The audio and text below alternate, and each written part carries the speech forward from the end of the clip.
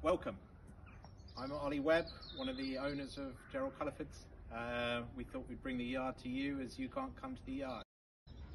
Okay, we're going to have a look at Avalanche, new marble that we've brought in.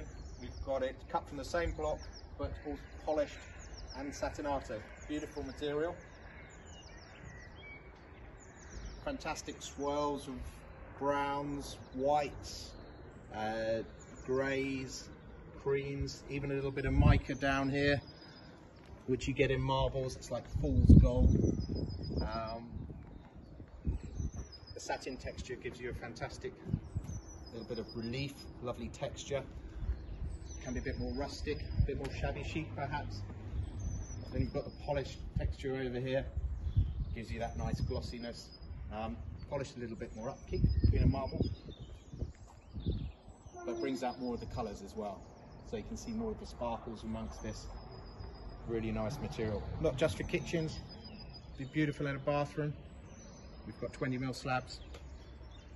Fantastic product.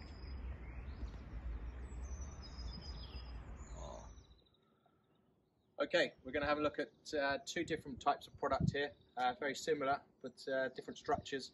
One is Belvedere, which is a quartzite from Angola, and the other is Cosmic Black, which is a granite, or what we call really a soft granite, from Brazil. And they're in polished and satin. Okay, we're going to look at Belvedere on its own. Yep. Uh, lovely slabs, rich, dark black, chocolatey brown, uh, with swirls of white and uh, gold quartz running through that. Materials are quartzite, uh, probably on the softer side for this quartzites. Um, yeah, fantastic product. Excellent for feature walls, big show island, or just buy it because you love it. Satin finish here. That satin finish being more forgiving, muted tones a bit, toning down the glory of the polished one. Really could use it anywhere. Seen bathrooms done in this as well. Lovely stuff.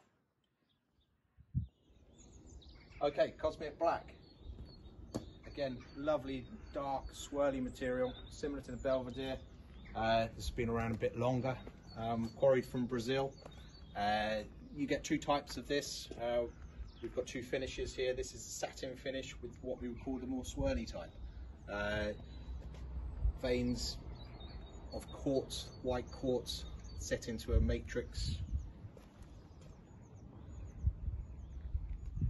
Really nice material and fairly inexpensive for a really good wow factor. Again, use it in kitchens, also in bathrooms, done a nice big job in uh, bathroom. Uh, looks fantastic. Moving on to the polished. This is a polished block and what we would call the vein cut. So that means we've got more uh, veins running along it. Uh, it's not technically vein cut for this, but it's a different quarry to the other one.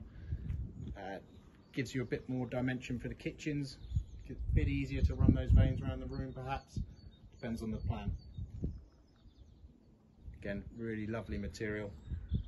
Nice rich colours. Good bold statement.